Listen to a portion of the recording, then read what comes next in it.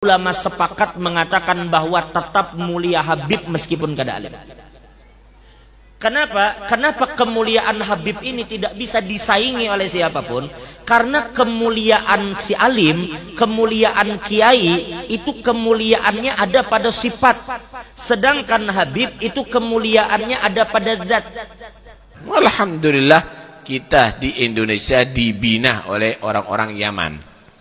Wali Songo itu datuknya eh, kalau diurut kembali kepada Sayyid Abdul Malik Ibn Ammil Fagih itu dari Hadramut itu dari Hadramut begitu juga para habaib yang ada di Indonesia kebanyakan dari Hadra Hadramut ha? hampir seluruh penyebar Islam dunia tadi itu mereka dari Hadramut dan juga dari Syam. Syarifah jangan sampai menikah dengan selain syarif, dengan selain sayyid. Kenapa? Karena mereka menjaga kemuliaan ini. Nasab itu kembalinya ke bapak. Kalau Syarifah kawin dengan selain sayyid, maka anaknya itu bukan sayyid lagi kalau laki bukan syarifah lagi kalau perempuan. Terputuslah kemuliaan nasab itu. Dan ini kemuliaan yang sangat hebat diberikan oleh Allah cuma-cuma. Keturunan sebetulnya memang yang kuat atau yang dekat dan lekat dengan garis keturunan dan darah saya itu sebetulnya dari Hadramut dari Yaman. Tapi ternyata tes DNA-nya menunjukkan uh, gen Timur Tengahnya 3,4 persen. Jadi lebih Cina dari Arab sesungguhnya. Wali Songo itu azamat azamat tetapi ya tetapi putus sampai di Wali Songo. Adapun anak-anak turunnya ini yang, yang yang yang maksudnya bukan anak turun. Maksudnya yang sekarang-sekarang ini yang ngaku-ngaku azamat khon ini itu nggak ada. Ter, terdaftar di Robito atau Nagoba. Kalau kamu belum menjadi wali jangan sok jadi seperti wali songo. Syariatnya masih kocar kacir kok. Sholatnya masih berantakan kok. Berjamaahnya masih nggak istiqomah sekalipun Habib itu bodoh terus saja nistakan kiai-kiai ulama-ulama. Bahar ini bagaimana? Terus saja ciptakan bahwa ulama kiai yang ada di Nuswantoro ini adalah KW terus saja jualan nasab. Belajar sama satu Habib sama ukurannya belajar dengan 70 kiai. Betul nggak Habib? Satu Habib walaupun Habibnya jahlun maksudnya bodoh kata Iwan itu ukurannya perbandingannya amat 70 kiai yang alim. Perbandingannya. Apa ini? Mulai kapan? Mulai kapan? Jadi ahdatul ulama ngajari benci alil itu mulai kapan?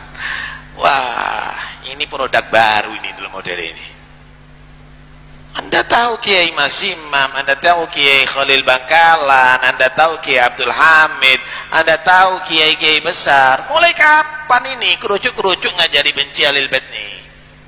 Mulai kapan? Anda baca kitab ente? Nggak baca kitab. Mau sok jadi kiai bukan kiai ente. Palsu kau. Wallahi palsu. Kamu yang menyesatkan umat. Kamu yang menyesatkan umat nggak usah diikuti model demikian. Siap turunkan Jokodok apa pantas odok mendok di istana? Siap keluarkan dari istana. Siap lengserkan. Takbir siap serbu istana. Siap serbu istana. Siap ambil alih kekuasaan. Takbir kalau besok terjadi lagi peristiwa penyerangan terhadap umat Islam saya minta kepada umat Islam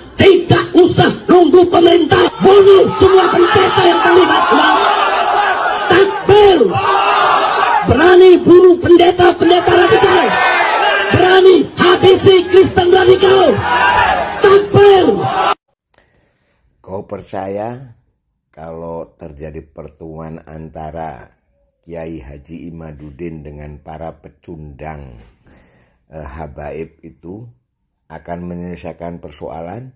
Tidak. Kau yakin kalau misalkan eh, apa namanya pertemuan itu dilakukan oleh universitas atau MUI atau pemerintah terus akan efektif dan menghilangkan apa namanya eh, diskursus ini? Enggak. Jadi menurut saya biarkan saja. Jadi biarkan saja masing-masing berbicara secara monolog dengan argumentasinya biarkan masyarakat menilai apakah yang dikatakan oleh para pecundang habaib itu benar atau tidak, masyarakat bisa menilai. Biarkan masyarakat menilai sendiri. Tentu bagi orang-orang yang otaknya pendek akan percaya. Tetapi bagi orang-orang yang pintar dan cerdas dan menggunakan akal warasnya pasti akan follow Yai Haji Madudin karena ilmiah. Itu aja. Jadi jangan harap kalau sudah ketemuan nanti diselenggarakan oleh siapa pun, oleh RA dan sebagainya. Gak akan berhenti. Pembicaraan ini gak akan berhenti. Eh, jadi sekarang begini saja. Rajin-rajinlah Pak Kiai Imaduddin beserta saya dan pendukungnya untuk membuat video dan viti-viti. Begitu juga para pecundang habaib silahkan melakukan hal yang sama. Yang akan menilai masyarakat. Dan masyarakat itu cenderung kalau yang pakai otak waras cenderung ke Kiai Haji Madudin. Kalau yang otaknya jongkok cenderung ke habaib. Dan Indonesia makin lama makin maju. Orang-orang bodoh makin sedikit. Itu dan habaib pasti rungkat seiring dengan perkembang, perkembangan zaman dan teknologi. Gitu aja. Biarin. Ini adalah asik. Gitu loh. Biarkan orang melakukan tafsir. Biarkan. Gitu. Jadi nanti kalau dalam bahasa Jawa itu becik ketitik olo ketoro. Ah, gitu yang akhirnya mereka tetap sekarang ini berfokus bagaimana eksistensi mereka di depan para muibin yang tersisa ini agar terus berjalan dengan baik. Karena apa?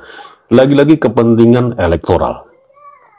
Kita pasti sadar dong, tahu dong, bahwa pilkada di beberapa tempat sudah akan dimulai. Bagaimana kiprah mereka di dunia politik? Tentu saja andilnya memang sangat luar biasa bagi para kepentingan-kepentingan tertentu. Para politikus-politikus yang mementingkan elektoral tentu saja masih membutuhkan sosok Pak Al ini.